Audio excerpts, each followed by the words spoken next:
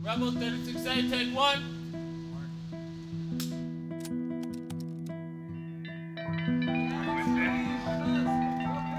Come on, guys. Three, two, one.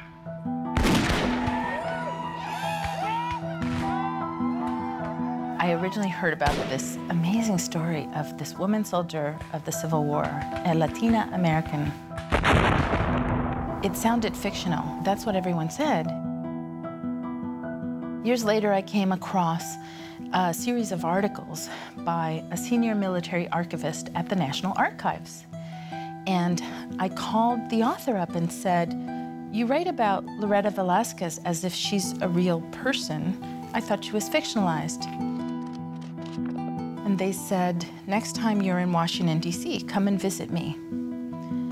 I did. And Deanne Blanton started pulling out all these documents about Loreta.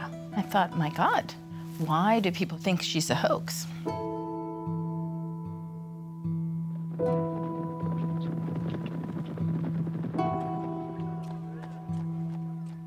What I found about why she's been erased is what led me to take this journey.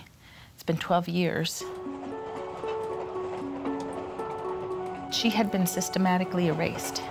The memoir she wrote during Reconstruction, many years after the American Civil War, went against the grain. She criticized the corruption of wartime society. She put the lie to the myth of that gone with the wind south that never really existed and that is such a romance beloved by so many still today.